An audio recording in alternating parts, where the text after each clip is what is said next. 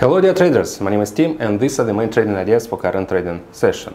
First of all, let's discuss the situation with Euro USD. The Euro USD pair is updating local lows and is trading near 1.0550. Hopes for the growth of the currency against the backdrop of a decrease in the consumer price index in the Eurozone in January were not confirmed and Friday's report on the German gross domestic uh, product disappointed the markets. The indicator for the fourth quarter of 2022 decreased by 0.4% instead of the 0.2% decline expected by analysts, which means uh, uh, that uh, it is dangerously close to the negative annual dynamics and the recession of the German economy. Pressure on the euro was also exerted by the February index of current economic conditions from the Ifo, which updated multi-month lows.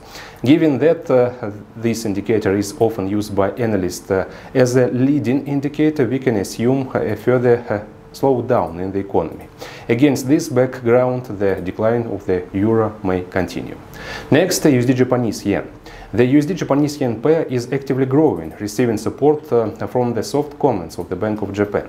The new head of the Japanese regulator Ueda, who spoke in the Lower House of Parliament, um, did not give a single hawkish signal uh, that uh, uh, could resume demand for the yen in the short term.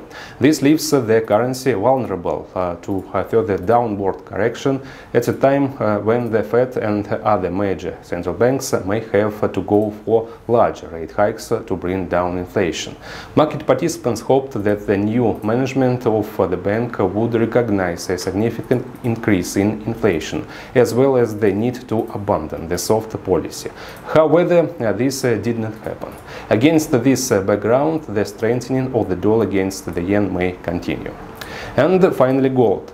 Gold continues to develop a bearish rally and test the 1810 level. The pressure on gold is exerted by the strengthening of the dollar, the focus of investors in the minutes of the February meeting of the US Federal Reserve, which confirmed the intention of the regulator to continue to tighten policy. Moreover, several members of the Fed immediately supported the idea of the need to raise rates by 50 basis points. Also on the dollar's buying side was the annual benchmark PCE price index, uh, the Federal Reserve preferred measure of inflation, rose to to 4.7% from 4.6%. This means that inflation in the US continues to rise, creating conditions for the growth of the dollar and treasury yields uh, and reducing the attractiveness of gold. Against this background, uh, gold risks updating new lows. So these are the trading ideas for now. Thank you for your attention. Don't forget to subscribe to our YouTube channel.